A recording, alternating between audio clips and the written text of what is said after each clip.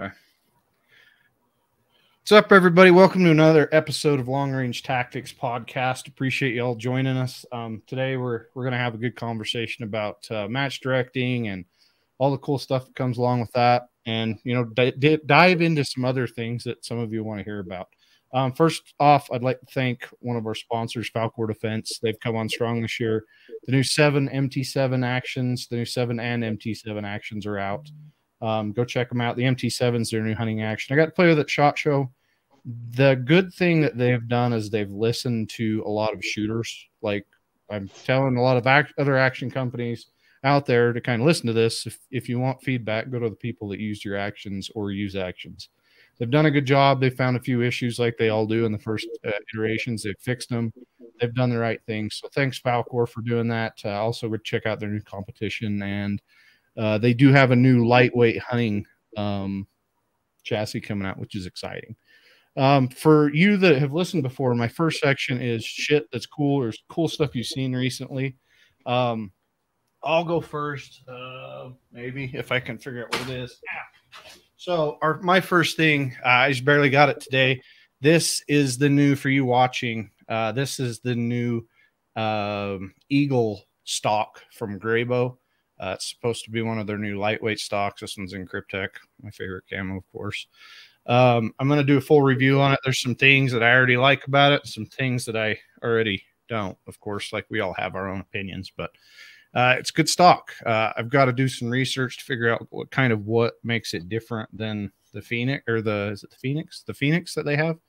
Um, so it's going to be interesting. And then I got another new stock back there. I'll do a review on too, the new Manners, and I'm super impressed with the new Manners. But I'll do uh, re- I'll do a review on it pretty soon. What Matt? What have you seen lately? Well, Shot Show just happened, and man, there's a flood of stuff this year. So, I mean, the I think the, one of the bigger takeaways is all the different companies jumping into actions and barrels. I think that's actually a good thing, the way it's progressing. Uh, there's some viable options. There's a few that might need some refinement, but there's some companies coming out with some pretty cool stuff as far as uh, actions and barrels and stuff. And then um, one of the companies I'm affiliated with, obviously MDT, has some a lot of cool stuff this year. That zero stage trigger got some got a lot of attention. So looking forward to getting one of those in my hands. So, but yeah, tons of stuff actually. Yeah, I saw Baker down there, and he kind of walked me through it, and it was pretty impressive, just the way it did it. You know, I'm I'm one of those guys like in hunting and different situations, batteries always scare me. You know, when you've got too many batteries to go with, but you know, when that thing can recharge in a matter of like a couple minutes and it'll shoot like 3,000 rounds before you have to recharge it and everything, that's pretty cool the way they've thought that through. Mm-hmm. Um, It'll only get better. yeah. Yeah, I did see a lot of action companies. Some of them need help, man, but there were some others that had some pretty legitimate actions that I think are coming out. And we all know that's what we need right now after the shit that's happened lately. So, Companies that What will you- remain unnamed. we won't go there. I've already been in a couple Facebook pissing matches, so I'm good today. Josh, what do you got? Um, I think those uh OBI, old Balls Inc.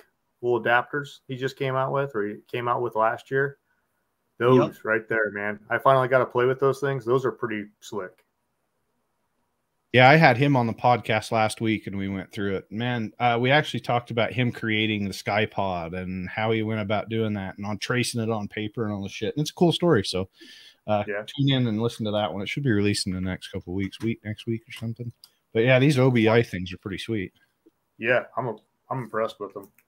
Yeah, it's just like this one's the QD, so it just goes into your QD on Mhm. your stock and then like mount it on your harness or wherever. Yeah, because it, drives me freaking nuts when you got a sling and the sling keeps coming off your shoulder when you're like hunting. It's always like walking its way off, and then you're pissed off trying to throw your gun around and everything. So it's it's a cool idea. Yeah, it was uh, a year, year and a half ago. Sky called me. He's like, I got this idea. I want to run past you. And we both said the same thing, like up front. Hate slings. I wish I never had a sling. I, I just hate them. Just get it, get away from them. He sent me a couple of the early ones, and man, it was awesome. And like people talk about like how heavy it is or whatever. Save a full race rifle on you. Like it, the backpack offsets the rifle weight, so it's kind of neutral. It feels really cool. So Yeah, Cool there was there was another one called I think I can't remember the guy. It's like a Franken stud sling keeper or something, and it was kind of a simple idea, but it was pretty much a sling a stud that stuck up with a round thing on top that you put over it that your gun couldn't slide off. But the problem is, is your gun's always sliding back and mm. forth too, right? And that's what drives me yeah. nuts too. Like you hit a branch and then it goes back, and this way it's always locked right there, and it doesn't do that. So I've got to install it on a couple of my backpacks and try it. I'm excited to try it out. Yeah, I did the same thing. I had like one of the little Magpul, like little leashes, just ran off a QD and I'd just hang it in there, but then it'd slide up and down your pack. This one doesn't seem to move around much, so I'm pretty stoked with it. Mm-hmm. I mean, they are a little bit expensive because everybody bitches and moans about price. But here's the deal: when it comes to comfort, I'll spend a little bit extra money for a good, comfortable thing that you can carry it around, and yep. it does work for hunting rifles if they've got a QD. And then I've got he sent me, I've got like uh, this one's a M-LOK. So if you got an AR yep. M-LOK that you want to carry, so mm-hmm. he's got a couple different options. Um, but yeah, that was that was a good episode that I talked to him about. Um, all right. Well, some stuff you guys have heard about. Um, if if you're listening and you have questions as we go through this, uh, comment. Um, well, I'll try and pull it up, but we're just going to go kind of through some stuff we've talked about. This next section is our main section. This is brought to you by Utah Air Guns. We appreciate them. They've come out with some new options. I got to hang out with these guys at Shot again, and man, if you haven't shot an air gun, you're missing out. They are so much freaking fun. Um, you know, the SD consistency and everything else when they come to them is awesome.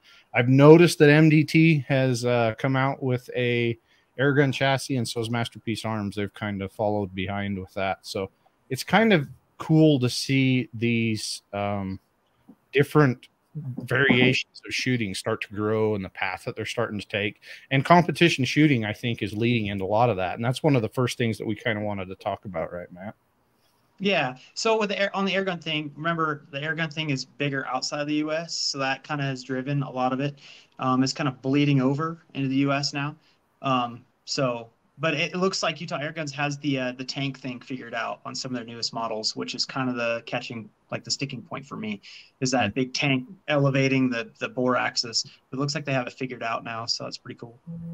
Yeah, I mean they've gone through. The cool thing about those guys is like you'll call them and you'll go through a build list and they'll completely custom build you a, a rifle right there. And the thing is, everybody's like, "Well, that shit's super expensive," but the way I've told everybody, I'm like, if you look at one of my voodoos, my voodoos were you know three or four grand, whatever you want to build them out as.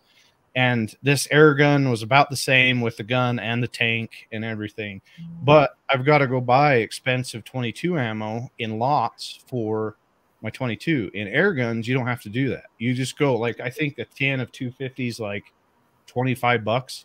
So you go buy the 25 bucks and then you just keep going and refilling your air tank. And a couple of the guys around here, we're talking about getting one of the compressors so we can have it here. And then they all just come to my house and fill it up. But after you have the initial cost of the air gun, there's almost no cost um, in shooting the air gun. And my SDs, I think I'm, mine, I'm shooting a 25 cal pellet right around 960, 970. My SDs are like two over 30 mm-hmm. rounds. So they're nuts. They're crazy accurate. And they sound like a freaking sledgehammer when they hit a pigeon. It's cool as hell. But um, so we, we were going to get into um, what were what were the topics? I've got to remind myself. You sent me. I, know I know how to pull the text too. Sorry. Oh, so I'm gonna I'll, I'll start this off. Uh, um, one of my favorite things about Josh is uh, he's not a one-trick pony. He actually has a very well uh, rounded background aside from military stuff. Everyone likes to talk about that, but I want to talk about stuff other than that um, because that's how Josh and I kind of hit it off to start. Like you know this, you done this, you done this. Like, yeah, I've been there, shot that. What do you know about it? And that was that was pretty cool. So Josh is pretty diverse. His um his experience with a bunch of different platforms is kind of ridiculous. So Josh, why don't you give us a little background, man? Okay. Um well, funny story to start. Um, you guys talking about air guns, that's how I started. I started shooting air gun was my very first competition I ever signed up for way back in the day when it's like doing the 4H Crosman 810 or whatever it was with air rifle, and that's how I started shooting. And from that, it kind of bled over into shooting trap and skeet in high school and 22, and then the whole military thing. I shot throughout the military competitively, and getting back out out of the military, I got into the teaching side of things, and then that led into two gun, three gun, and all that, and it just kept expand. Anytime I find something new or interesting, I jump into it and try it out. Yeah, I think that's where I met you too. Uh, you you were teaching with uh, oh, what's his name in Arizona? How come I can't think? Today's one of those Independence days. training. Independence training. Yep. And um, Cook uh, introduced us, and um, you know, I think that's where, and for matches, of course. But yeah, I mean, then you've kind of come out. You've been shooting a lot of different platforms. I mean, you've been shooting a lot of uh, our homeboy Cluff's HS stuff. Um, I've got a couple of his guns. Love love the HS stuff. And what are you shooting now? HS still. HS and then uh, Leupold stuff. Is that is that what you're saying? HS and Leupold, those are my two main ones. Look at you guys all freaking Leupold it up. It's been a while, man. all freaking team Leupold. Leupold's done a good job, man. I met with them at Shot, and they're just doing a phenomenal job. I had a, a podcast with Tim, which is the new marketing director, and when I sat down again with him at Shot, man, they're just they've they've they've got a new life in Leupold, which is uh, you know a new breath of fresh air coming through it, and it's fun to see. You know, I looked at their new uh, range finding binos, and I'm excited to see when they come out with the integrated stuff. When they do, I'm pretty sure they will. You know, and then they've got uh, what is it? The new three and a half to ten. Is that No, what it two is? ten. Two, Two to to ten. Two to ten. Yeah. It's a, it's a five five power. So Five. Okay. First focal plane, good looking optic. Um, I like it. I need to get one, of course, because you just can't live without good optics. That's how they are. So, Josh, you just hosted the NRL Hunter. It was the first NRL uh, event of 2023. You had it down in Arizona. You got snowed on. Um, I know a lot of people kind of have asked me in the past, like, how do match directors go about setting this stuff up and planning it and doing this kind of stuff? And you know, from like a regular PRS event or a standard NRL event, the hunters are completely different. And you've got to kind of think differently when you set those up and how you set targets and how you hide them and different things like that. Do you want to kind of go through like your your thought process in building like NRL hunter stages? Yeah, I mean it's it's kind of different. It's kind of the same, you know. Like you still, the thought process has to go in when you're designing the stage. Like how big is this target going to be? For how hard of the shooting position is it going to be? Or how hard am I going to actually hide this target? You know, and that's all things I take into consideration. Like one stage, if it's like a belly stage, it's going to be small ass targets a long ways away. You know, because the shooting position is going to be easy. The target's going to be easy to find. So the shooting side of that has to be the difficult aspect of it. And then some of the other stages, you know, if it's a really crappy position that I'm putting people in, it's going to be a great big easy target. You know, so you don't you don't want to just go completely difficult across the board. Like you can't put a little target with under huge time constraints or under real tight time constraints off in a shitty position because it's just going to destroy everybody. Wait, hold on there though, because his version of a big target is different than my version of a big target. his version his version of a big target is a prairie dog this wide at 540 yards. You were prone. You were prone, Matt. Don't yeah, yeah. screw Okay, in yeah, at all right. all. You're I'm screwed. good. I'm like- good. Uh, go ahead, please was a big continue. prairie But I just want a that. Fat, they're a fat prairie dogs. They're huge. Yeah, very fat. They're like Uh-huh. woodchucks. Tenth and a half. Got it. Shoot better. Pray for no wind on targets Pray like for- that. Yeah. I mean, but you have to have those stages. You know, you have to have those hard stages in there. You know, that's what makes the match. You can't have every stage a gimme easy stage or there's no dividers. So you have to have that two to three stages that are no shit hard. And if you score well, you're probably going to win the match. Right. Separates everybody because that's that's the hardest part as a match director, and all three of us have done it.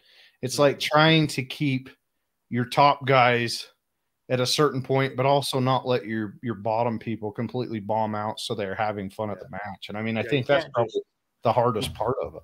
You can't design a match for your top 10 guys because everybody else is just going to hate it because it's going to be way too hard. You know, if you go the other way and you design it for the bottom 25%, then your top guys are all going to be tied and it's going to come down to a tiebreaker.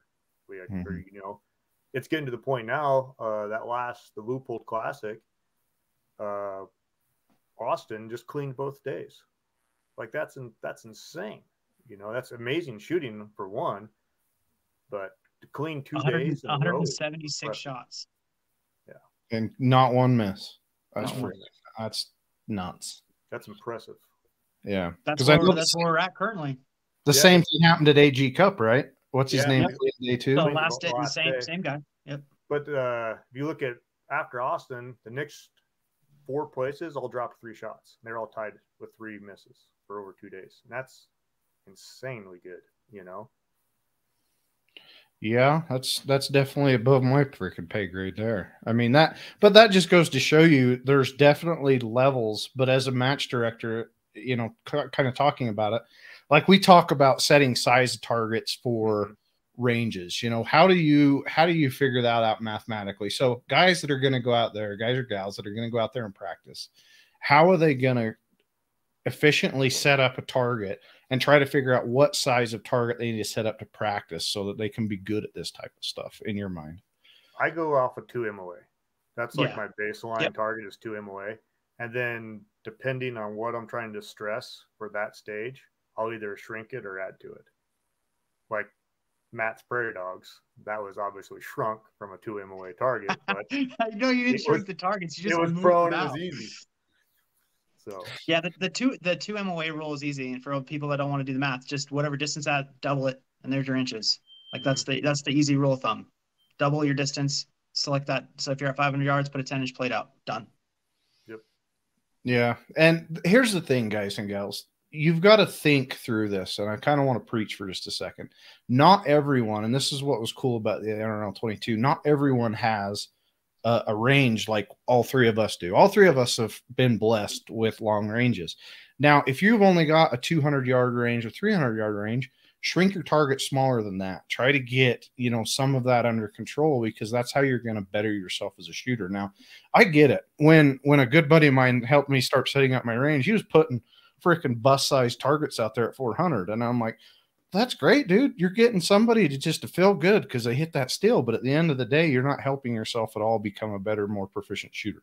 So as you're thinking about doing this, or you're going out and setting up a club or something like that, um, you know, and, and of course, kind of back to Josh's comment, you've got to do that depending on what kind of position they're going to be shooting from. Is it a barricade? Is it prone? Is it, you know, how does that go through it? So, kind of go over how you would set that up, Josh, as far as uh, say you've got a, a barricade on a stage and then you go prone and then you go barricade, or, or kind of explain how that stuff's all gone out in your mind. so for like a multi-position stage or something like that, um, I kind of look at like the timelines. So I always like to figure that 10 seconds for like a hard. If I go 10 seconds per position, that's like a harder design to stage. Or if I go to like 15 seconds per position, then I can kind of throw, give them like an easier, like a feel good style stage.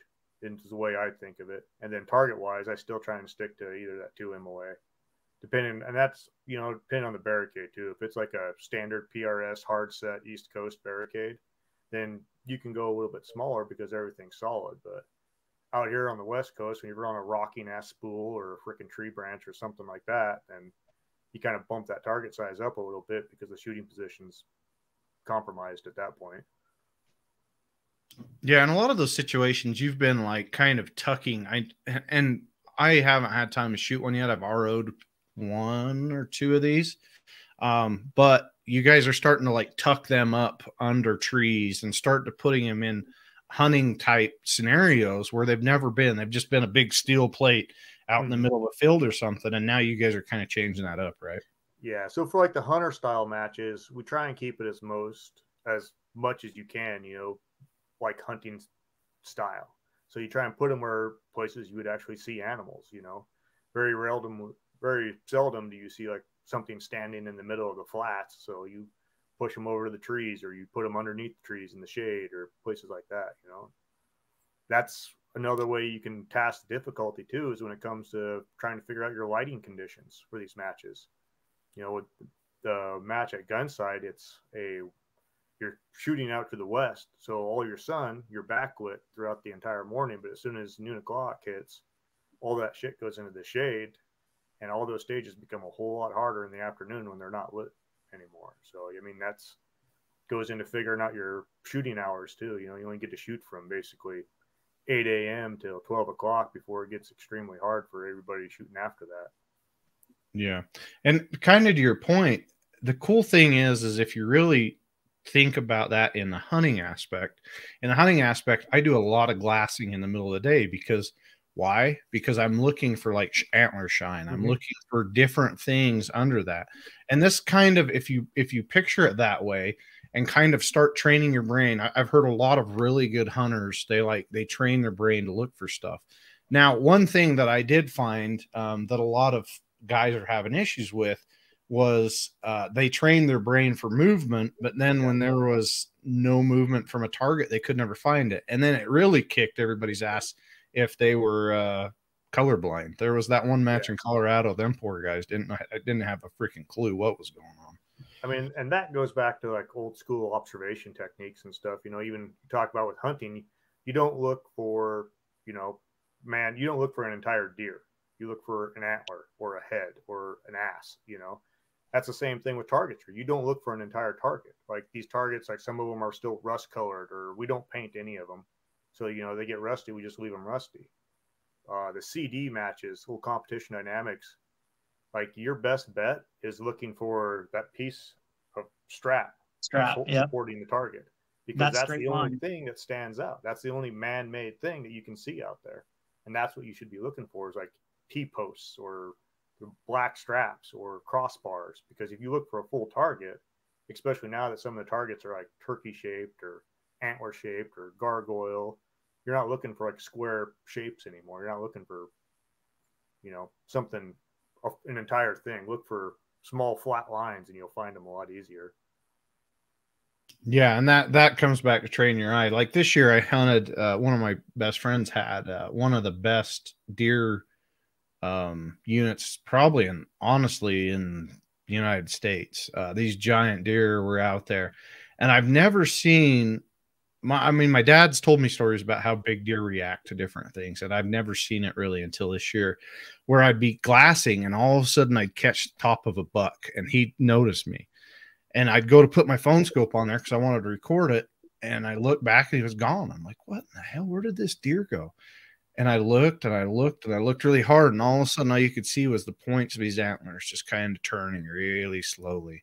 And that's kind of the cool thing that kind of mimics both of them is big deer are freaking smart, man. They lay down, they don't move very hard. We've seen them. They'll actually lay their head down on the ground and things like that. And that's one of those things like there's there's things that I've seen online. People are complaining like NRL hunter matches. They're like, oh, this doesn't relate to hunting at all. I'm like, all right, give me scenarios where it doesn't relate, and I'll give you scenarios where it does relate because it does. And in one of those is gear selection, right? Because it, all these freaking uh, PRS matches, they got freaking baby strollers and shit. You know, they're pushing stuff everywhere.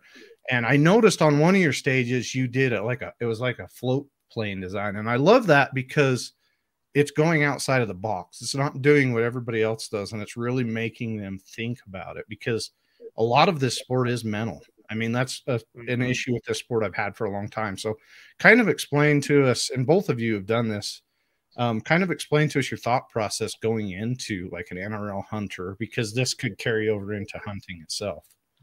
Well, I want to hit on the mental thing first. You brought that up, and I think that's a huge thing, and that's another stressor that people don't realize when they design this. And we had two stages in particular at this match that were 100% a mental, and that was it. That was the one thing that we were stressing. Like that float plane, that was an incredibly easy stage. The targets were, I think, mm-hmm. 300 and 400 yards. Yep and they were like 12 and 16 inch diamonds. They were huge. They were big. Yeah, generous. The whole, the whole way we set it up is if you went up there and went prone, everything was right in front of you.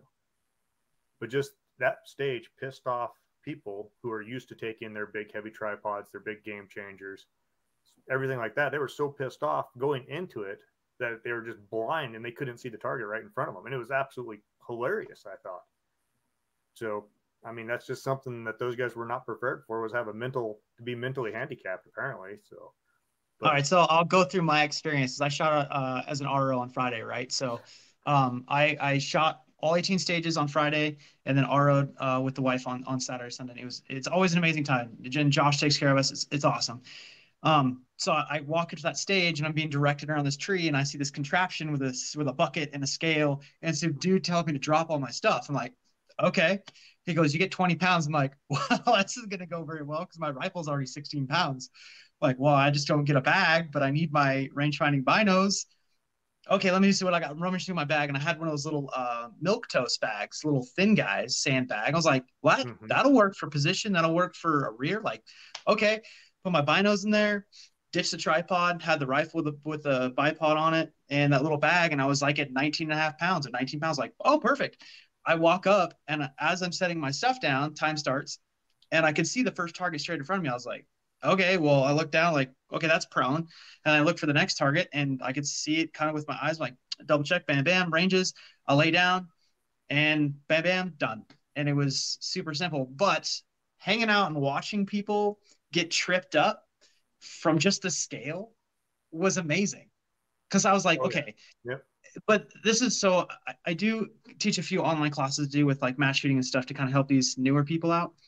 And one thing I tell you is like, hey, if you're if if you're getting frustrated with something, stop and think like a match director would for one second. Like, what is their intent here? And if you can figure out their intent, it'll take some of the confusion out. And like, okay, now I have a path to go. Like, I understand what I'm supposed to get out of this. And I knew when I walked up to this, I'm like, okay, he's already putting all these restraints on me. I, I'm not going to freak out because I can't use my gear. I know these targets are going to be pretty manageable and probably prone, or it'll be like off a tree or something pretty stable. Like the position's going to be good. I just knew that going into it. It's going to be generous. If the position's good, like I'll be fine. And so I I had it easy, but watching people lose their minds and then just self-destruct on the stage and forget to put their mag in or just all this sort of just haywire stuff, guessing at the ranges, that was wonderful. And yeah. um and like how can you shoot that target if you have no idea how far it is? the things Like, that that's people part of it. prioritize are is insane. You know, like I, Yeah. I was watching people making their gear selections is insane. Like when we started the match, we briefed everything can be shot from a nine inch tripod in a bag Mhm. or a nine inch bipod in a bag. That's all you needed for the entire match. But yet people, like you'd say, wouldn't take like a rangefinder or something so they could take their huge tripod. Well, the way the stage was set, if you weren't about 12 to 18 inches off the ground or anything higher than that, you were in the trees and you couldn't see the targets. So a tripod was absolutely useless. People would run up there with the tripod Yep. and just throw it on the ground next to them because they couldn't see anything anyway. Wasted weight. Exactly. But it's it was that was just a fun one, I thought. Yeah. Yeah. The other the other mind bender he had was uh he'd start you on a stage and then up years, time stops. Your position's actually over here because I ran up and then there's a flag where you're supposed to shoot from pointing right into a tree. I'm like, well, I don't know how to navigate this. like So there is the- no place you can see through this. So this one was a little more directed towards uh, competitive shooters. So that's the other thing I like trying Yeah. to separate competitive shooters versus hunters. What are the worst words you hear as a competitive shooter on a live fire range? When RO tells you what's what's one word you just hate to hear? I, Freeze. Yeah, Oh, freeze, right. They freeze. Yeah, freeze, wrong right? target. yeah. That's when you someone standing behind you and they say freeze. Right there, you're thinking, Yeah. shit, I'm DQ'd. That's the end of this. Like, pack my bags, I'm done. So that's Yeah. what they were doing to shooters. They'd run up there, get set, they tell them to freeze, and right then, anybody who's been like, especially in like the two gun world or something like that, you're like, well, fuck me, I'm I'm done with this one now. So yeah, immediately, immediately. So Dave, it was Dave Thompson, and Yeah. he stops me, actually grabs my shoulder, and said, Dave's a good like, artist. freeze, freeze. And I thought, my first thought was, what did I mess up? Like my gun's Yep. pointed downrange. What am I doing wrong? Because I started looking around. I'm like, uh, I don't know if I had to like step on something. Like, what happened? And uh, he goes, Nope, your new shooting position's over there. Your time starts now. I was like, Oh, uh. And uh, that's that me alive because I couldn't find the targets. The set, like those coyotes in that with the glass I was Yeah, using, so blended in so well, and they were gone. And I just, I couldn't, I couldn't do it. but that that's cool to me because this is the way I look at that. If if you've been a hunter for long enough, you, you get what they call buck fever, and Mhm. everything that you've just learned goes out the window. Like everything's like, whoa, there's a big Yeah. freak buck. Like, where's my rangefinder? Oh, shit, where's my, you know, everything just starts going like that, and I like that because I could see that playing with people's head, and then it puts them in that scatterbrained, holy crap, now I got to start over. Because I was going into this with a plan and now the plan is just completely changed. And now i've got to go to this new thing and th- then they've got to in their brain push replay. They've got to try and restart this all over again. So i, I like i like the idea of that Is that is that what your idea was behind it? Uh, no. Yep.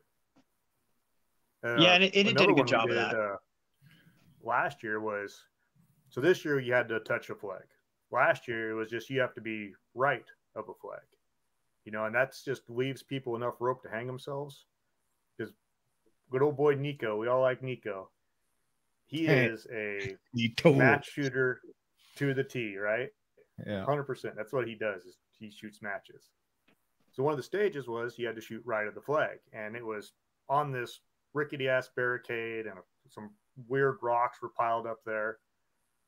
So Nico runs up there and he shoots off all these crazy ass positions, like hunches himself down, contorts himself around, and shoots off this wobbly ass little fucking rock, and like all this crazy shit.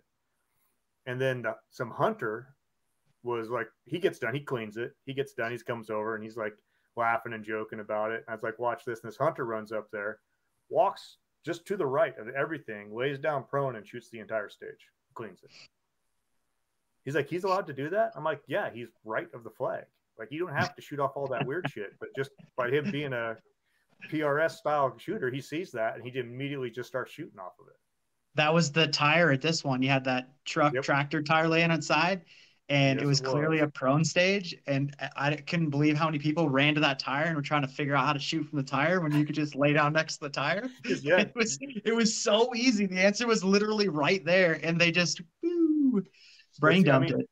I think a lot of that comes from, you know, that goes back to what you're saying about don't being a one trick pony. You've ran enough stages or you've seen enough stage designs to you have, where you can think outside the box. Like when you run up there and your stage implodes on you, you can just figure out an easier way to do it, you know? And that's Mhm. some people are so razor focused on here's the flag, I have to shoot like on it, regardless of how shitty the position is, when I could just simply move six inches and shoot completely prone. It's Yeah. it's Well, and I mean that is- that's the difference in PRS and this. I mean, in PRS, you're told, hey, you've got to shoot off of this. This is what you have to Yeah. shoot off, and then you've got to make it. As a hunter, we want to get the most stable position possible. If there's a rock and then there's a big prone spot, I'm definitely going to use the prone spot unless I have to utilize a rock to get a higher vantage point. But I mean, why wouldn't I want to go prone? You know, and that comes That's- back. Go ahead. that's the, well that's the fun thing about field matches is there's so much more critical thinking to it you know and well they're blind so you don't get to see how the other guy did it in front of you either you have to decide how you're going to shoot it and sometimes it's completely a terrible idea and sometimes it's great you know but everybody gets to shoot them different that's kind of ro in these is like matt got to do or see or i have before when i ro'd Yep. ro in these matches is awesome because you see every single different way possible to shoot a stage Yeah. I mean, I saw what 100 and some odd people, like you know, and and how they would work, and the team is a whole different dynamic. But uh, just you know, the stage that we were on, it's just amazing. And then I cruise around, you know, help Cody and and uh, other ROs and stuff, and get to watch a little bit too, and just watching the different takes on things. That okay, you think you think you've got something ironed out, and then like someone comes up with the most simple thing, you're just like, okay, all right, that was very effective. Or you see the Mhm. opposite, and you see someone do some really bizarre off the wall stuff, and just crash and burn and it's like ah I, I Yeah. yeah. I would probably learn from that one but uh, don't do that again but uh the field matches that I've been running up here the stages are real real straightforward um and it's kind of similar kind of idea of like we just want to shoot more the, we, we are, are kind of transitioning away from the two and one scoring just because people like to shoot more at these matches if you're Mhm. giving them the targets ahead of time they're not blind so um hey this is a negative slope figure out how you're going to use it. Here's a pile of rocks, figure out how you're going to use it. There's no wrong answer, just your answer. And if you hit the targets, then it worked. So that's that's awesome. And and I see this online a lot. Social media is these people want to say that uh, the match shooting doesn't matter which format it is. The match shooting doesn't have a direct correlation to like real world stuff. And like, yes, it does. And then when I'm teaching people on the hunting side, I teach them how to use a rifle and how to use their gear. It doesn't matter if it's a steel target or a live one. You treat it the exact same. So Mhm. you, you treat that live animal like it's a one MOA target. So it, it, it really, it, there's so much crossover. It's unreal. Um, and I got to say, Josh, we had quite a few of the skill shooters this go Yeah. around rather than last one. And that was cool. And if, if for the people who don't know the skills, you can sign up and do the match for reduced cost and you're not on the, the leaderboard, but you can go and then um, you're given as much help as, as you ask for. And I had a couple people, you know, I'd stop them because I didn't have much of a backlog. I'd stop them after their time was up. I'm like, hey man, we got some time. Let me show you how to kind of fix this. We'll f- get you on the targets, and you're going to shoot for a. I don't care. You're going to shoot and you're going to hit those targets. You're going to learn something before you leave here. And and these people had the biggest smiles on their faces. Like that was awesome. Thank you. Like and that that was cool. And Ted and his kids too. That was a that was a that was a good time. yeah. Yeah, I mean that was one of the things that as an RO when I did my first hunter matches, that was fun. I recorded a lot of it. Um, they actually hid behind my bus. I had my bus there, and my bus kind of blocked them so they couldn't see. And they had to come up and engage around a rock. Uh, I think there was a rock, and there was a couple prone positions. It was one target.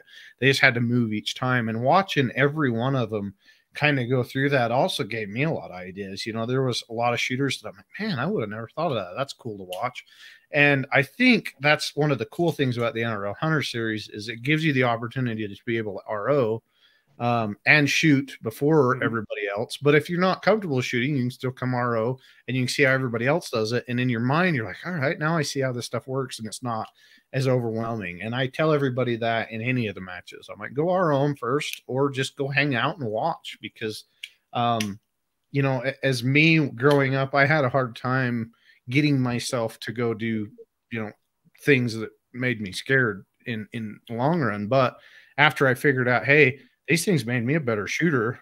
I'm like, I, I want to go RO some of this and I want to go do some of this. And not to mention the camaraderie that these matches bring, man. I've met so many good friends doing this. I mean, that's where all three of us met was for matches. Well, I think there's something to that too. Is like you were saying, is like a lot of people are just. Well, I've had a couple guys who volunteered to come up and help, and they had no idea what they're getting into, and their biggest concern was like, I don't want to be in the way. So like that was what they're worried about. I was like, there at no time if you're volunteering there is at no time that you're going to be in the way of anything. Like just come help out you know and we i was able to put them with experienced ros because we had enough help to help them you know teach them how to do it and stuff. So i mean it's a great experience. If you don't if you don't want to shoot definitely come out and just learn and you'll get put with somebody who knows what they're doing and can teach you or guide you through it. So it's you definitely won't be a handicap at all and one of the new things that Air released that got me kind of interested was the, um, and maybe you guys can explain this to me because I don't know. Um, the team, the team version of it. Now there's a team setup. How how does the team part of it work? So okay, I'll tell you from like the shooter's perspective. So last year we shot Josh's match. Me and the wife did as a team. Now, there is no better test of a marriage than to do that. it's like backing a boat in the water. I'm so- yeah. yeah, but imagine 18 times of that in one day. It's a marathon, it's a mental marathon. And uh, obviously, you know, you you both have so this is what I'll say about the team stuff. You have to be able to recognize each person's strength and weakness and then build off that because if if someone's not very good at you know finding targets well you're to have to coach them along. If, if you're a better shooter like there's a give and take to all of it so you got to you have to know your other than your you know the generic stuff your dope and your gear yada yada yada. You have to know the person right? You have to know what they're good at. And if you're like me you're not very good at um, communicating tactfully while in a stressful environment. So um, read between the lines there.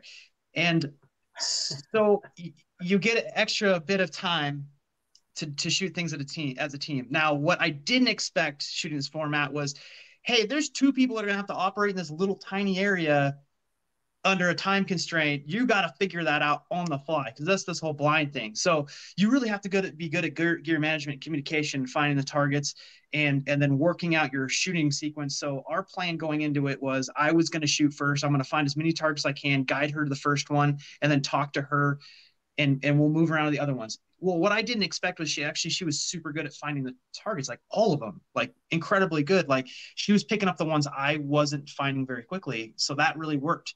And I was going to rush through and shoot and get as many points as possible, but then the transition and stuff, we we killed a lot of time. We did pretty well, um, but like and we shot one other team match before it was a PRS style team match, so it wasn't much uh, figured out on the fly. So a lot of it's just figured out on the fly and collect as many points because you get 16 points possible versus the eight per stage.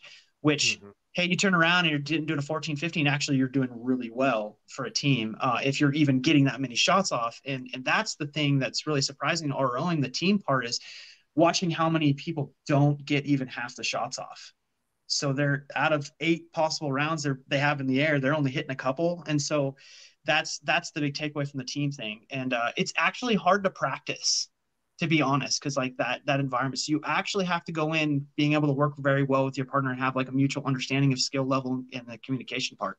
Mm-hmm. So there's a lot to it.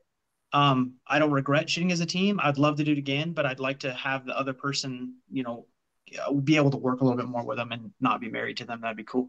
Um, but yeah, the team things is is just taking that that individual aspect and doubling it. I mean, doubling everything because and you're going to get frustrated. I saw a lot of teams just get frustrated in how they plan things because it seemed like one person would go down the rabbit hole in an idea and then they couldn't pivot out of a bad idea. They just couldn't do it. And watching that just play out was frustrating as an RO because you're like, man, both of you did the exact same bad thing. Like you're just like not enough bipod height, or you're looking at the wrong target or something, and just get out of that funk. So it's pretty cool. And if there's teams that do that want to do this again, I would highly encourage you to reach out to people that have shot teams before and, and ask what how they've done it. Because there's a bunch of videos on just the individual stuff, but not a lot covering the team aspect of it. And I think there's a lot more there. And there's some people that do it really well in the, the team shooting stuff, right? There's actually tons of uh, matches, but the find range and engage portion of this is, is a lot harder to do as a team. Because, man, if one teammate is lost and doesn't see any of the targets, well, you're only getting half the points. Shit. So, I mean, that's just the truth of it. It's it's it's a cool experience though. 100%. Last the last time I shot uh, team matches was I shot I shot the Vortex Extreme the first couple of years, and that was you know some of some of my first tastes into the team match. And you learn a lot about your freaking partner and if he's bullshitting you yeah. or not in a hurry you know and it, it, was fun. It was interesting. That one kicked your butt because there was more running than or movement than there was shooting yeah, that was like uh seven miles i think wasn't it? Yeah and you were only you only fired i think like 30 rounds max. Yep. i shot that. it sucked because i'm like man for the amount of movement i've got i want to freaking be able to shoot a little bit you know? And then the team thing and we we went into that not understanding um, and maybe that's something we can talk about real quick. We went into that not understanding what we needed to compete. Honestly, you know, the first year I went, I went with a, a Harris and a backpack and some binos, I think. And we were trying. We didn't. We our Harris wouldn't go high enough. So we were trying to use our backpack to get up high enough. I mean, we got our ass kicked, not understanding going into that match what we needed. But so into these matches, what are like the the maybe the five basic items that you have to have to be able to compete uh, and do good at it? Yeah. Well, just real quick on like your topic, you're talking about those team matches. I love team matches. I shoot a lot of team matches, and for a crossover application, I think that's as good as you're going to get for like your mill and your Leo guys. I yep. take your partner and go shoot one of these because every single stage is a blind UKD stage at that point. I mean, it's you can't get better than that. Or the other on the other side of that, I've taken a lot of shooters and because you now you're allowed to coach on the clock basically, and there's no better test than, than test and fire, you know. And you put somebody on the clock and you can actually coach them on the clock. So when I did it with newer people, I have them shoot first. So then you can coach them through, and if there's any time left, then you shoot. You know, it's like the best of both worlds. But five things you have to have. Yep. So, you know, it could be uh, what tripod, uh, range finding binos. You know, that's been one that has come out. And I honestly think, you know, Vudoo was one of those things that really got the 22 thing started. But I think the NRL Hunter and matches like this are really what got the range finder binos, you know, going because the, no one cared about them until now. And now all of a sudden everybody's like, holy shit, dude, it takes so many variables out of everything just to have that set of binos. So, you know, yep. stuff like that. Yeah. I'd say the range finding binos would be your first one. I mean, it's just there's which one so much so much simpler if you're going to take one item. Which binos are you using? I use the Leicas. Mm, I've heard good things about the Leicas. I really like the Leicas. With the AB, go out to you can load your data up to a thousand yards, and they mm. they're still clear. Like so it's good glass plus ballistic solver out to a thousand. I put my eyes on all, about all the brands, and I got to say they're they're my favorite so far. Like so, yeah. yep. Until I have a decent pair of Leupolds that I can use, I mean that's going to be it. Uh, this last match I used, a, yeah, This last match I used uh, a pair of the Fury 5000s, and man, um, you know, I, I just my eyes don't agree with that that glass. And I think that's something you kind of have to realize when you're buying these things is you kind of have to know what you're getting into and the brands and go try, try some but outside so you can kind of see, you know, what the glass is doing and look at different colors of things. Um, there's there's a couple brands that just they tint so their glass because they have to. I mean, and so where he broke up. Yeah, he froze on us. I don't know where he went. There he is. All right, go ahead, Josh. Josh, you got us? Oh yeah, I got you now. Sorry, you froze. Right, uh, no, saying? Talking about your your your Furies and that one stage where you said you couldn't find the the coyotes. That's it's that's the reason. I mean, it's just the for so like the Furies, they have like that brown tint, right, for the glass color, yep. and those coyotes were brown. So like when I put yeah, them in, in with in, my Leicas, in grass, yes, in brown grass, in brown grass. So, so, I put them in with Leicas, and they stood out. I went mm-hmm. back and looked through Mark's Furies, and good luck, they were gone. Yeah, and suddenly I, I didn't feel so bad after you told me that, and I was like, man. So I caught the T post on the first one, and I was looking for the second one, but I was counting on a contrast or an edge to stand out, mm-hmm. and I I had nothing. I just I had nothing. It was gone. So, um, you, you you have to before you make the investment in the range finding binos it's they're all amazing pieces of technology. They really are if you look at how far it's come from a seven power you know one hand rangefinder which they they a lot of those are great as well but i mean they've got their limitations. But having that all in a package especially that spits out a ballistic solution in your face within a couple seconds. Yeah. I mean uh, especially from a hunting environment like man that's what, what else could you could you ask for right? Like there's no yep. guessing anymore. And then learn how to use them too, because I don't know how many people I talked to like on my stage with those targets that were kind of uh, there was brush behind them. Well, they I couldn't I couldn't count how many rounds were going over the top because they were misranging because they didn't know where their laser was in their reticle, and so they had no idea. So they were just pinging the, the sagebrush that was a good 50, 60 yards behind them and just sailing rounds over the top because it was a big dope difference. So you gotta you gotta know how to use them. So mm-hmm. you know the laser rangefinder binos, I would say 100 percent, 100 percent. What else? So uh, for me, a Ckye-Pod. I don't have a single rifle. I would take out outside my front door that doesn't have a Ckye-Pod on it. nice. I, I, just know that piece of gear so much. Like I've I've trust on that those bipods so much. Um, like for Josh's, I had a double pull and it was perfect. It was absolutely perfect. I mean, there was a couple stages where you really needed it, and yeah, it was great. Um, I mean, aside from rifle optic, that's kind of a given. Um, a tripod. Yeah, but there's a caveat to that, right? It has to be a good tripod. Yes, a good tripod. Like, it has they, to be a if you good... get a good tripod. They are so versatile for mm-hmm. all aspects, from spotting to shooting. Like it's they're hard to beat if if you can take your tripod and put any sort of like downward weight on the head when it's fully extended and it just does this like it flexes and moves just with your hand it's not going to cut it. You have to spend the money on a decent like 32 mil or bigger leg tripod. It's just that's just how it is. And especially if you want to throw a rifle on top of it it's just that's it. And they're not that bad anymore price wise i mean they're coming down a lot and there's a lot more companies making good tripods now for you know that 400 500 price point that will well basically that's what i consider an entry level good tripod now at this point. Yeah, yeah. I, I keep seeing it online. Everybody say you don't carry no freaking tripod in your hunting type thing. And i'm like you're the dude shooting at an elk a thousand yeah. yards off hands aren't you jackass? It's I like tripod on all my hunts. Yeah i'm like dude yep I want I want stability, especially when I'm glassing. I a lot of times like I carry 18s, you know, and I can't. Mm-hmm. It's hard as hell to hold them, and then I can be able to take that off real quick and set a bag or whatever else right on top of that tripod and shoot. And you know, a lot of these tripods, even in the 32s, 36s, 39s, they're still super light. I mean, the heaviest thing mm-hmm. on the damn thing is the ball head, depending on what head you use.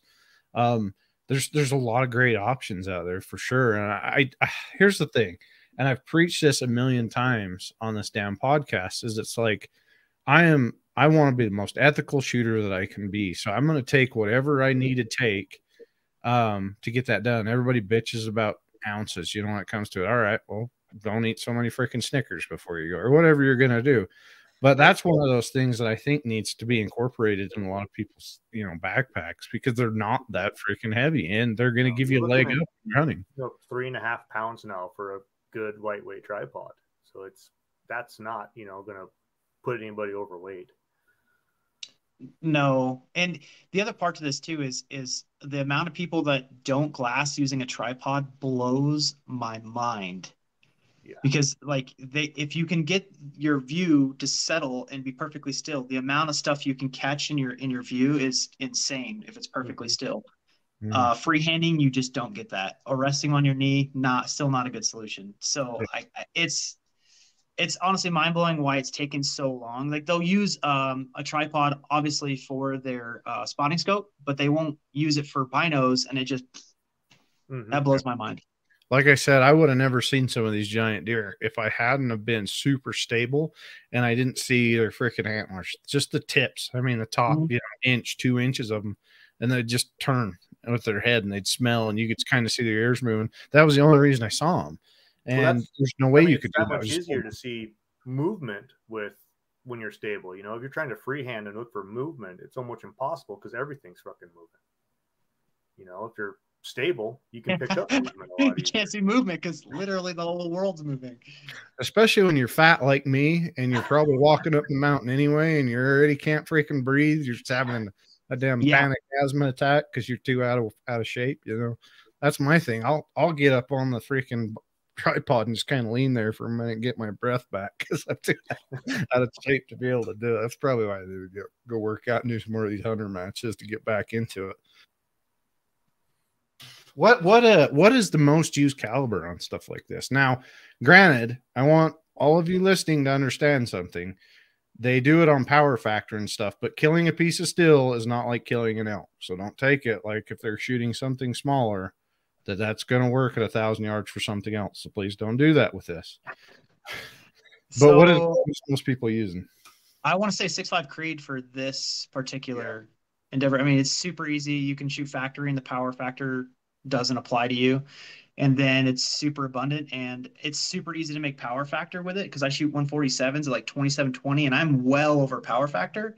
I've shot a um a 6.5 PRC last year that was pushing it way too fast, um, so I had a little bit more recoil on an 11 pound gun was still super fun, super flat. But I mean, 25 Creed, some people are stepping into now, which is kind of a cool thing. I'm not going to step into that. I don't have the patience for it anymore. But um, I think 6.5 Creed is pretty much the go to because it's a good balance It's just- weight and re- It's recoil. so popular and it's so easy. That's basically what everybody goes because, like, you can buy ready-made match ammo for it. So Yeah. it's dude that that Hornady- if it doesn't shoot hornady it's not going to shoot that's all there is to Mhm. it that's what i tell everybody that shit shoots too damn good Well, that's a good fallback too because I I had 100 rounds of factory in the car just in case. Like Mhm. Jess or my gun for some reason didn't make power factor. Okay, well I got a factory ammo in the car. I'll shoot the whole match with factory, and now it doesn't matter.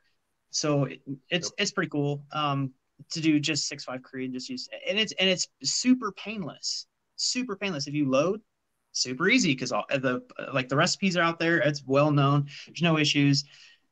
If you want the easy button for the hunter thing, six five Creed. That's it and just you can just shoot factory don't apply. It, it don't matter. The only thing that i will say that the other cartridges will give you is a little bit more ranging forgiveness if it's a little flatter like the 25s if you're off 5 10 yards here or there with ranging the it, the, the the max ord and everything is so flat that your your your angular displacement is is nothing you know compared to like a 6.5 creed. So i'm a little slower. So if i'm ranging i might start uh, my ranges are off i might start hitting the bottom or miss low whereas somebody else pushing something a little faster they have a little bit more forgiveness with that. So that's something to take in consideration too. But with that you get recoil unless you're doing the the 25 creed deal. Um because those guys are pushing 135 137s at 29 30 i want to say. Yeah, I think you're right. so it's it's moving pretty good. And that's that's kind of the the gaming aspect of the, the general hunter game almost you know finding that little bit of edge which is which is pretty cool. That pushed the envelope because sounds now we're like seeing more 25 cal bullets Sounds like available my just for this 260 needs to come back out. I love my 260. Now I shot that before 6.5 Creed was even as, as popular as it was. I love my damn 260. i saw tons of people shooting 6.5 prc this go around too I think they just get too hot, don't they? Because it's just so much pressure. yeah you're shooting a pretty light rifle anyway yeah I toasted mine trying to RO with my PRC because you shoot so fast as an RO. You basically Yep. shoot a stage, pack up, move, and shoot again. I scorched mine doing it as an RO. I wouldn't recommend shooting as an RO with a PRC. I I did it, but that barrel I know is is a limited life barrel anyway, one of the Clough's fluted ones, and so it's just like, hey, I'm gonna run until it dies. I'm gonna shoot coyotes with it afterwards. So whatever. Right? What else did we? Uh, let me look at your list. Uh, all right, growing the shooting community. Did we kind of hit on that a little bit? Yeah, so I want to kind of ask that, like, how do we how do we grow this? And I think the biggest part is the entry barrier thing. Yeah. yeah, that's the steepest the steepest part. I mean, a lot of matches now, if you go and you look on the NRL Hunter website, a lot of matches are starting to do the free youth with a father slot or a mother slot or whatever. If you're going to shoot with a guardian, you get free entry into the youth, and you can share a rifle if you need to, or they have the loaner program where you can share rifles. So I mean, there's there's ways to get in there and not have to spend all that money up front to do it. But Yeah. that I'd say is the biggest issue is just the cost of entry is just phenomenal for somebody trying to get into the sport. Right. And I think there was, I don't know, I'm not going to try and go down this rabbit hole, but there was a lot of negativity with the different organizations, um, the fighting back and forth, and people just not wanting to get into the drama portion of things. And no matter what, you're going to have drama with some of the shit, right? I mean, it is what it is. But I think a lot of that subsided. Um, you know, and a lot of people are like, well, I just don't have the money. And I, I think that's what's cool about some of these new um these new rifle companies coming out, you know, with less expensive options that still shoot really well, you know, mm-hmm. with factory ammo and different things. And I think that's been one of the things is with PRS, everybody has kind of thought that you've got to have the best shit on the planet to be able to compete. And I'll be the first one to admit I've got expensive stuff and people have smoked me with cheap stuff. I mean, it's it's all about the shooter and stuff. And I think that's kind of something that we really need to push as match directors and stuff is you don't need the most expensive shit on the market to be able to come out and at least have fun. I mean, maybe to compete against the top five, top 10 is one thing, but just to come out and have fun is, is something totally different, right? Mm-hmm. I will say Rusty Omer smokes a lot of people with a factory Tikka with a note card taped to the top of it as his That is garage shield. so no, I, I agree with you. But I mean just have realistic expectations, I think is is the takeaway there. Like if you bring, you know, a couple hundred dollar old rifle, you better have realistic expectations what you and that rifle can do because you're not going to be, you know, crushing souls with it. So yeah, just just know like the competition thing, yeah, go RO, check it out, get your feet wet, ask questions. Um, but when you start, I think a lot of people just don't have realistic expectations or they don't have something they want to get out of it. They don't know, right? Like, hey, I'm I want to do this, and and I, I have people locally that'll show up and do one or two matches a year as their hunting train up, and that I think is actually pretty awesome.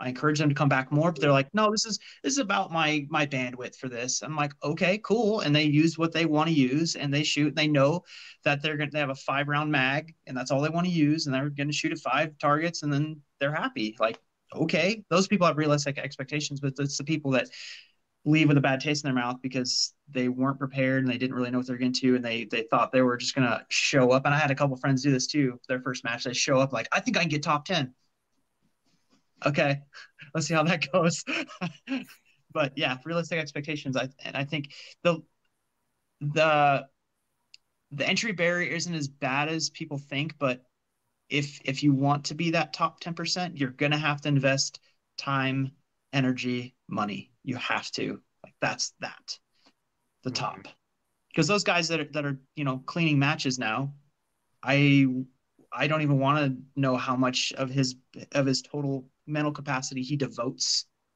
to that it's got to be insane Yeah. I've lost more freaking matches, match points with stupid mental errors than anything. I mean, just little teeny stupid mental errors. That's all there is to it.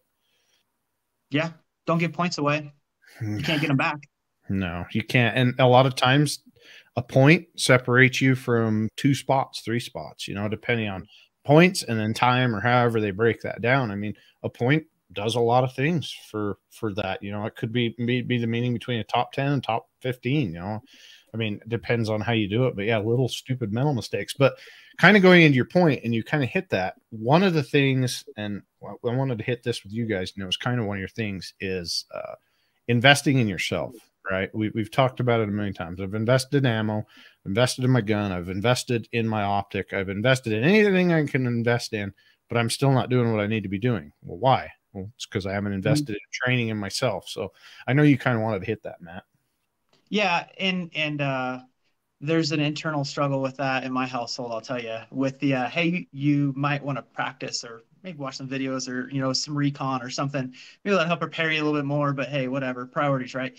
But and sometimes you get busy with life and work and you don't get to de- like devote that time. But that's a big thing is people want to focus on the monetary investment and they like the gear and stuff, but they don't do the mental part of it as well. And then it's like oh shit, what did I just spend money on? So, I mean, would you would you expect that you're going to go race a professional racing event without knowing how to drive? Well, no, like you're probably going to want to learn that first. And the, obviously, there's different windows of this, but this baby steps all the way. Um, I, I, I don't know, Josh. What are your thoughts on all this, man? Like as as a two day match director and a two day match winner, I mean, you're you're more apt to speak to this than I am. Um, I you hit the nail on the head, man, with that realistic expectations. I've gone into matches where I've shot a lot going into it, and I felt good about it, and I shot really well at the match.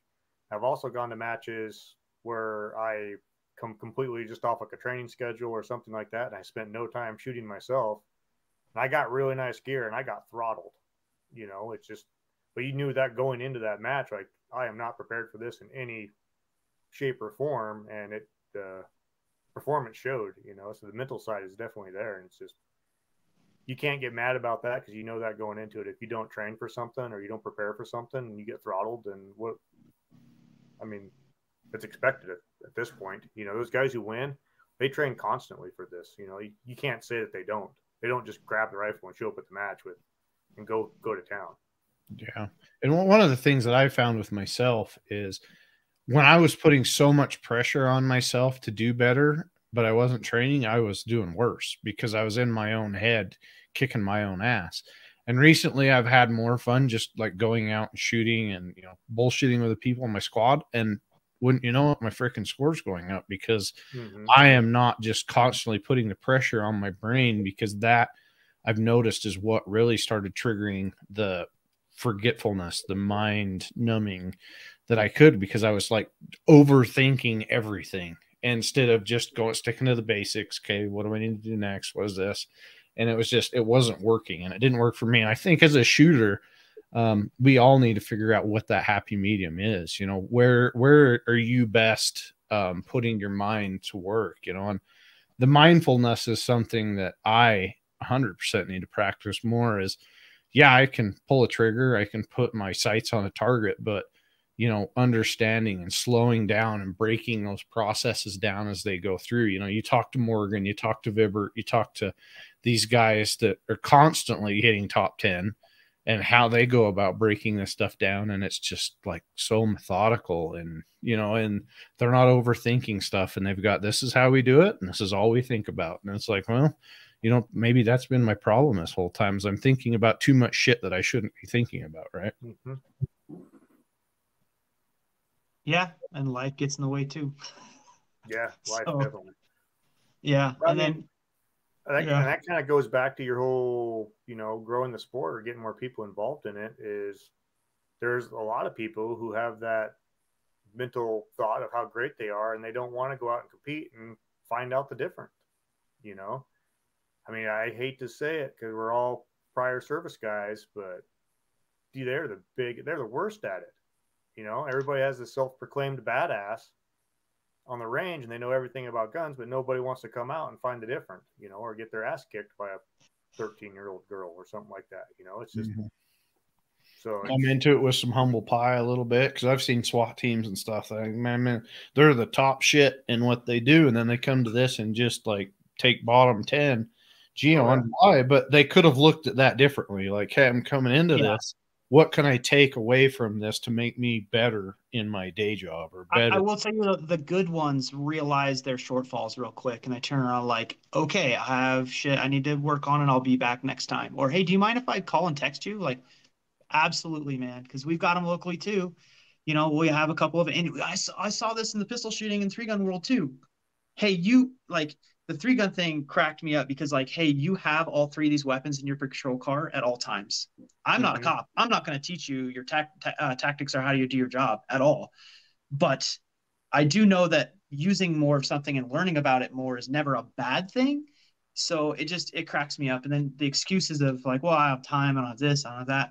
But then you you you get across you get all these dudes that are just infatuated love it, with it and they love it and they want to learn more about it and they want to be you know um, better at their jobs. So yeah, it goes you know it goes one great. two ways. They'll either never be back, yeah, or they'll be back the next week to figure out how to do it better. Mm-hmm.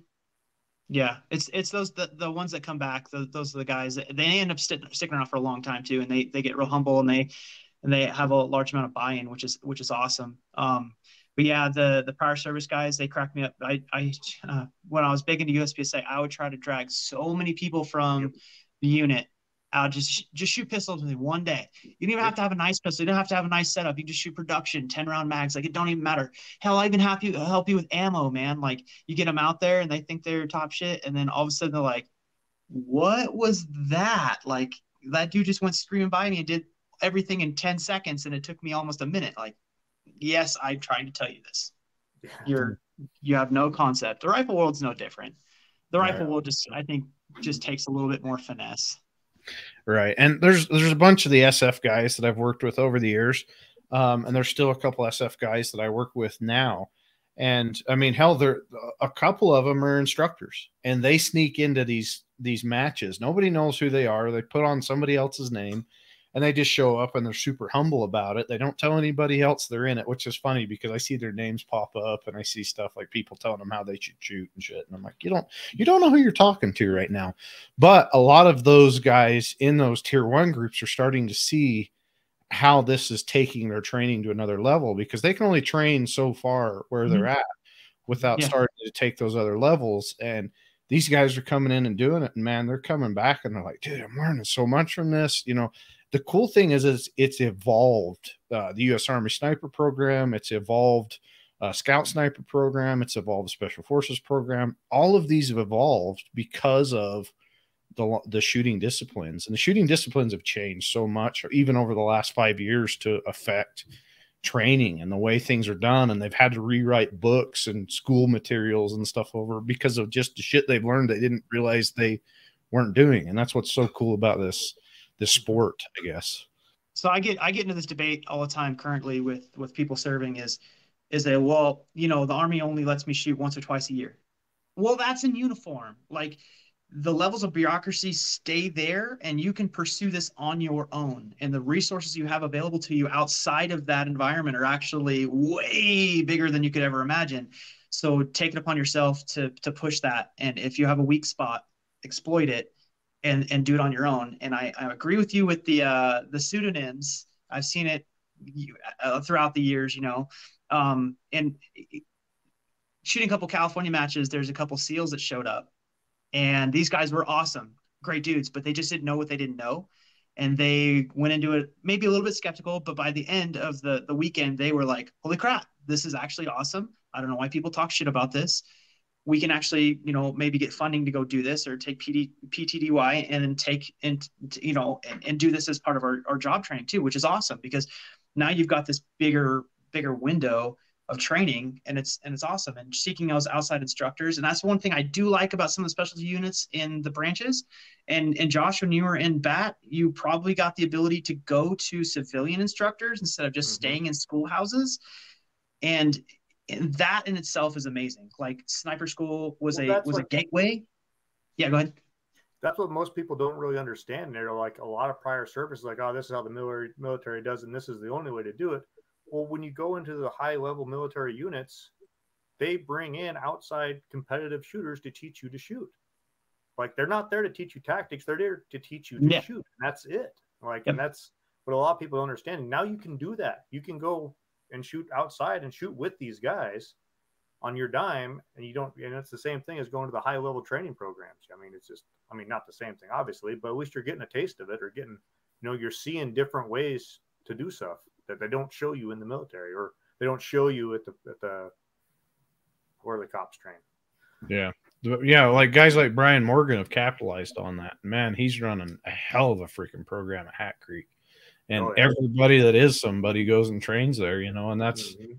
that's what's cool about that kind of stuff is is the but going back to it what changed a lot of this was the competition stuff. It's Yep. what drives change. It's what drives more actions coming out. It's what drives changes in barrels. It's it's all this competition stuff. And that's what's cool about that side of things to me is how it drives everything. And and going back to josh's outside of the box thinking and that's what's fun about matches. We've all been to matches where you got a barricade you got a tank trap you got a couple things.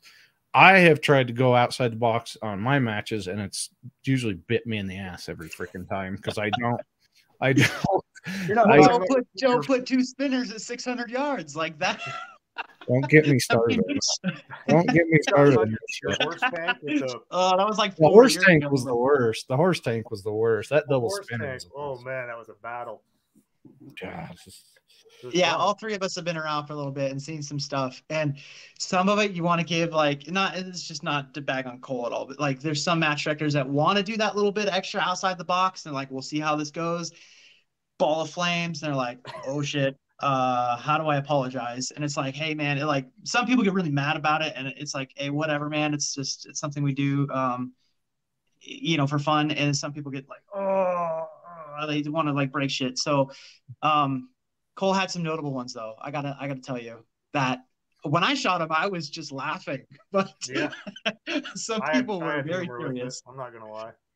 But Yeah. that's the thing is I pissed people off. I pissed a lot of people off, but I'm like, that wasn't the end. I me, I like I'm not the person I'm always changing shit like in my rooms and stuff because I like to see new things. And in my brain, that's why I did it. And when I went through testing them, and that this is one thing as a match director you have got to do is you've got to test all the different parameters and possibilities of that stage because like for instance that double spinner i'll tell you guys a, a, a secret no one else knows that spinner got broke i don't know when it got broke and i didn't know it till after the match or i would have thrown that stage but sometime during all of that shit the spinner came completely apart and i didn't know about that and that's just stuff that's stuff you can't see though right Yeah. but the way that I had it set up back and forth and all that bullshit, that was something that I shouldn't have done. But we tested that with the big rifle, and the big rifle did great with it. I didn't put into context 22 calibers and six calibers on spinning that. And so that is what's hard about being a good match director is thinking of that stuff, but also thinking of all the different possibilities that are going to go into that. And that's that's the hard part. Yeah, trying to weigh a course of fire so where it's every caliber, you know, is equal is is tough. Just No, trying yeah. to weigh a, a course of fire so it's nice and balanced, you'll lose sleep over it. Yeah. Oh, yeah. Straight up. It's a But I mean, that goes back to like you're talking about growing the sport too. We have to have, you know, stages like that, like the, the infamous horse tank or the dual spinners, because that leads to other ideas. I mean, I don't want to shoot the same PRS barricade every single match, every single place we go. I want to see different stages, right? And that's another thing I think more people need to do is travel. Like you get a set group of guys who will only stay west, and that's the only matches they shoot. I harp on this so Only much. stay east, and that's only matches they shoot are out east. Like you're not getting any crossover until we start getting more crossover. I mean, then you can start seeing more ideas and better stage design coming out. I think. hmm Yeah, a lot of them came out and shot George Gardner's uh, Hornady PRC match, and all That's the East Coast eye-opening. boys got a pe- big old freaking slice of humble pie with that shit. Hell, I, Yeah. I'm a West Coast boy, and I got humble pie with it because he wasn't that one year that I shot it. He wouldn't ever let you shoot the same target twice, so you had to do a raise and then back and do an array again. And I'm like, holy shit, I've never done this before, and I'm not fast enough, you know. And I was shooting a 308. I learned my lesson there. Yeah. but freaking slow and steady does not win the race when it comes to me. 30 mile an hour winds it don't. No. An Shit. extra What did you hold? What did you hold? Uh, 0.5. All right. Uh, times 13. Um, Yeah, yeah, yeah. Freaking... No, and, and it cracks me up too that there's people that say that like there's no difference between East and West Coast. I, I, yes, there definitely is. It's just how the states are are laid out, mm-hmm. man. It's we have like here we don't have trees. We have we have rocks, mountain, and wind. That's what we have. We don't and have trees. these, and you get mm-hmm. These, and you get that, and you get all sorts of shit. Yeah. It's not consistent. Yeah. It's not consistent wind ever. No, but I think I think it makes you better all around being in that environment, straight up. Than than you know with a, a place that's you know you never come off plate. I've shot those places and I didn't necessarily have a great time because I kind of count as wind as the equalizer, you know.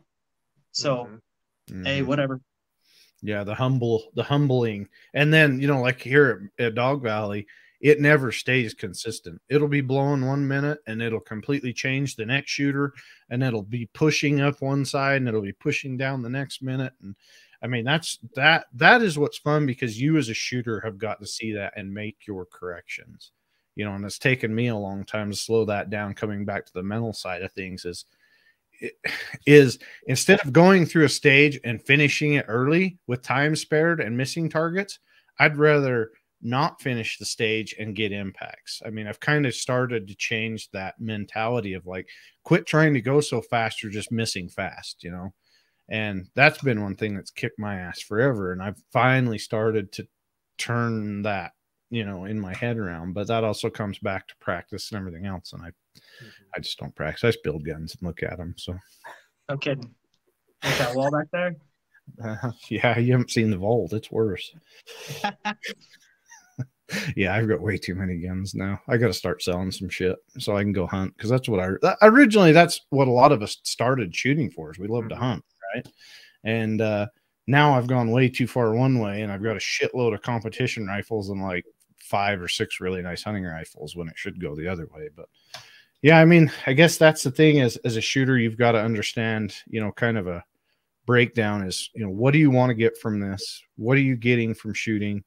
what do you want to achieve? And um, you know i guess that's the whole point you've got to ask yourself. And then how good do you want to place? If you want to place good go invest in yourself and invest in you know practice. That's all there is to it because it is. And i understand with life it is hard to um, set up for practice, but it's never been easier. There's companies like JC Steel, MGM Targets, all these different companies that have made these really fast target act target systems that you can go out and start shooting in, you know, 10 minutes. And so you can do that. So you can make all the excuses. You, you just don't have time. But if you had a good half hour, you could send, you know, quite a few rounds down range on a target and change different things. And you can do that. So again, it comes down to, excuse me, what you want to get out of this, right? We haven't had very many questions on this one. No, every so every so often I get a ton of questions, and sometimes I don't. But this is also a Monday, so everybody's probably. Um, I usually, know. I kind of I kind of think people are usually mentally checked out by like the afternoon on a Monday anyway. Yeah, usually Thursdays is pretty good, but I don't know. Sometimes people just like to watch and ask questions. I get, I'll you'll get ten thousand downloads on the podcast, and I'll get questions from that, but um, this this never seems to get the reach, but I also only put it out this morning. If I would have put it out a couple days ago, so everybody could think about it, then that might be something different. I don't know. I just gotta have more time. But um, uh, to finish up, I appreciate your guys' time. I think you know, hopefully, people learn something from this. And if if you want to go shoot an NRL Hunter match, I believe what is it, NRLHunter.com or NRLHunter.org, I believe org, nrlhunter.org. Um, Travis Ish and those guys have done a good job. I think it's by SIG now or something. Um, go check it out. There, there's more and more matches popping up. And if you don't have time to go shoot an NRL Hunter match, I guarantee you've probably got a one day match in your area. I mean, when we started oh, shooting, yeah. there was nothing. Like there was one match every couple months here in Utah, and we all fought to get into that damn thing. But now there's tons of matches. So there's no excuse that you can't go out there and have some fun um, in your area. Go check it out. Uh, if you need help trying to find something that, hit us up on Long Range Tactics, and I or one of the team guys will get you information to one of your local um, gun clubs, gun ranges, and hopefully with the network that we've got, we can introduce you someone there and they can kind of bring you in and answer the questions. So don't be afraid to ask questions. Uh, long range tactics. Um, we're on Facebook, Instagram, um, and longrangetactics.com. I want to finally thank um, TAC Pack. They're one of our new sponsors. Just got another TAC Pack. These things are badass. Um, I think the last one was two hundred and sixty dollars worth of stuff. It's one forty nine a month. If you use the code LRT at checkout on the main pack or on the the bigger pack, you get another seventy dollar item. The last one, I got knives, I got a Luth AR buttstock, I got a lot of cool stuff. So go check out tacpack.com, sign up. You can cancel at any time. Um, maybe go sign up for one of them, use our code, and see what it's all about. But um, the last one, I got like SOG knives. I got a whole bunch of cool stuff. So Go check it Hey, they out. make good gifts too. I've given them as gifts. Mm-hmm. Yeah, and there is a, there's a cheaper one. I believe it's forty nine ninety nine, and it comes with like hundred and forty dollars worth of stuff. So you're getting a good return on investment for buying it. So go check out tacpack.com. Um, thanks, Josh. We appreciate you coming on. Hopefully, we're going to see Matt a little bit more. Um, it's good to have people that can help us help m- the conversation go instead of me just rambling on about nonsense. Yeah, because I, I actually wrote down like bullet points to talk about. It's a, hey, it's a technique. It's a technique. That's all I'm gonna say. Usually I just ramble and we just bullshit. But hey, bullet points are good too. Because when you get stuck, you're like, shit, what was that? Okay. Hey, now we're going to talk about this. So we're good to go. That's So That's what you get when you bring an officer into it. Bullet Yeah. points and PowerPoint. So I was ready for that. That's next. No. you got the non commissioned skills. officers up top and you got the Right. OC down below. So yeah. Um, I'm just thanks, starting to get good, dudes. Yeah. Uh, oh, also, if you want to do a plug for independence training, um, are you still doing that? Yeah. Yeah? Yeah, absolutely. So we're still doing all the medical training, all that stuff like that. So they hosted another medical course or training class at my match, actually. Um, we still do all the rifle, carbine, pistol, all that as well. So definitely check them out. Dude, I think that's that's a necessity is medical classes. Josh, that Well, was the first time I actually got to meet Glenn and Drew, and they are amazing people. Awesome. And um, if I can ever get a chance to go partake in some classes when I get a little closer to you, I am definitely going to do that because, um, yeah, good people to teach. So Yep, apps, and that's. I think you're right, man. Medical is one thing that everybody throughout their life will be put in some sort of medical scenario, but everybody wants to carry a gun and plan for smoking down a bad guy, and that's next to never going to happen. So hmm hmm Yeah, because I just went through a couple of them because I wanted to be better on the highway, freeway if I came upon an accident or something, and two, if something happened in the back country, I want to be able to, you know, help somebody out. I went through all that shit in the military, but that was way too long ago. I don't remember it. So mm-hmm. these refresher courses are nice, and independence trainings in Arizona, if anybody's wondering about that. So you get to go travel down there and be in the warm for a minute if you want to do it Yeah. now. or let us know, and we travel. I've flown all over with them to teach courses. So Okay, so yeah, if you they get a bunch of buddies together, hit them up, see what they can do.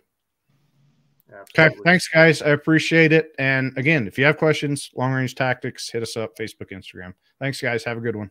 Thank you. awesome.